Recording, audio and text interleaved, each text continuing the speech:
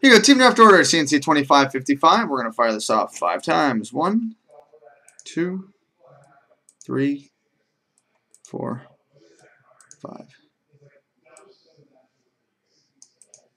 Copy. Paste.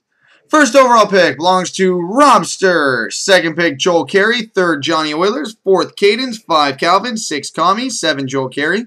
8 Quite Something, 9 T Shoes 19, 10 4953 Ron, 11 Last Ride, 12 Rick 2466, 13 Kami, 14 Grouch, 15 418 Matthew, 16 Last Ride, 17 X Mitsui, 18 Andrew JB 420, 19 418 Matthew 666, 20 Denver's JB, 21 Sharon, 22 Quite Something, 23 Joel Carey, 24 Johnny Oilers, 25 STL Blues 00, 26 Quite Something, 27 STL Blues 00, and 28 Cadence.